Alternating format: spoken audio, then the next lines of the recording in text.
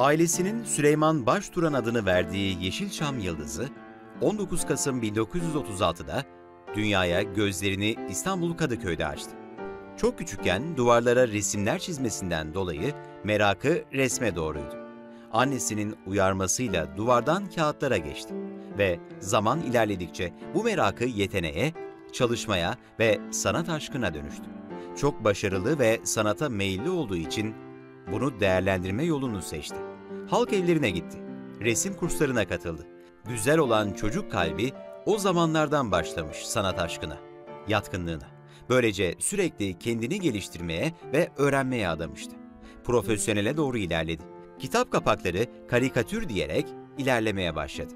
Sinema ise belli bir yaşta hayallerini süslerken ilk başta merak ve daha sonra sevgiye dönüştü. Ve sinemayı ilk başlarda kamera arkasında devam ettirmek istiyordu. O dönemlerde meşhurdur sinema yıldızı yarışması. Arkadaşları ise bu yarışmaya katılmasını çok isteyerek her defasında ısrar etti. En sonunda Süleyman Turan katılarak form doldurdu. Hatta bu forma ufak da bir notla teferruatların arasında olmak beni mutlu ederdi yazdı. Ve sinema yolunda ilerlerken bu yarışmada bir adımı olmuştu. Edis Hun, Hülya Koçyiğit gibi yıldızların da bulunduğu bu yarışmalar birçok Yeşilçam yıldızına yol olmaktadır. Genellikle yardımcı rollerde yer alarak yüreğimize verdiği tadı unutmak mümkün değil. Eğitim hayatını devam ettirerek lise yıllarına gelmişti. O yıllar onun için çok değerliydi. Çünkü İzzet Günay'la paylaştığı yıllar ona yakın arkadaşlığı tattırmıştı. Üniversite eğitimi geldiğinde sanattan çok uzak bir bölüm seçerek eğitim hayatına devam etmiştir. Fakat bu aşk o kadar kuvvetliydi ki yarıda bıraktık okuduğu bölümü. Her ne kadar başka bölüm okumuş olsa da ruhunu sanatsız bırakmadı. Arkadaşı olan Gürdal Onur tiyatroyla ilgileniyordu. Hemen hemen her gün onun yanındaydı. Neredeyse tüm konuşmaları ezbere biliyordu. Çok seviyordu tiyatroyla ilgilenmeyi. Sürekli arkadaşının yanında bulunan Süleyman Turan bir gün tiyatroya gelmeyen bir oyuncunun yerine geçerek sanat hayatına ilk adımı atmış oldu.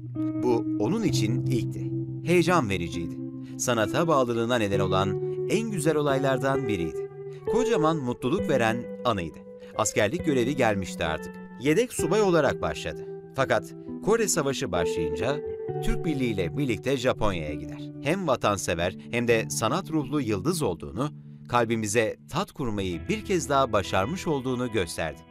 Aldığı ödül için bir röportajında şunları söyleyerek kalbimize yine bir tat kurmayı başarmıştı.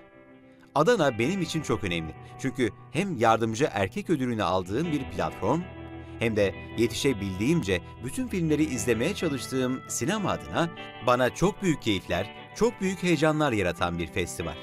İşine aşkla bağlanan Süleyman Turan'ı daha çok tanıdıkça hayranlığımız artıyor. Sinemaya devam etmesinin nedenini ise hem çok basit hem çok zor olduğunu söylüyor. Sinemaya devam etmesinin nedeni neyse hem çok basit hem çok zor olduğunu söylüyor. Basit çünkü herhangi bir cümleyle bunu açıklamak kolay. Ama gerçek anlamda kendime sorduğum zaman bunu cevabını vermem güç deyişiyle de ne kadar içten cevaplar verdiğini hissedebiliyoruz. Yeteneklerinin arasında senaryo yazarlığı da vardı. Bunlar Dönme Dolap, Baş Belası, Sevgili Dayım filmleridir. Ayrıca Güllü, Yarın Son Gündür, On Küçük Şeytan filmlerini de çok sevdiğini söyler. Gizli Kuvvet, Dönme Dolap, Halk Düşmanı, Kadın Bir Defa Sever, Sevgili Dayım, Sonsuz, Yahşi Batı, Sonsuz Bir Aşk gibi birçok filmde oynayarak Yeşilçam'dan geçti. 83 yaşında kalp krizi geçirerek aramızdan ayrıldı.